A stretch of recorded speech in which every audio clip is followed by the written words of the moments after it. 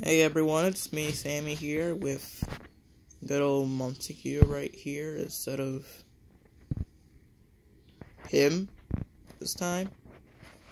So, update. Um, I am now out for summer. Yesterday was my last day in 8th grade, so hopefully I'll be posting more videos, and my mom said that, um, I will be getting most of my trains back, or stuff However, now I have been getting better grades than previously in eighth grade.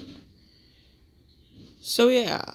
Um now what else? Um I won't be able to um do part four of like my random Thomas drawings and crap pictures part four today because today is actually my older sister's graduation party because she's going to college soon during the summer.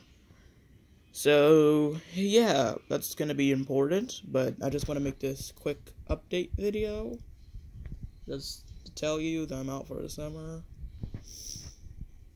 So, yeah, um, um, I'll see you guys next time. Go away.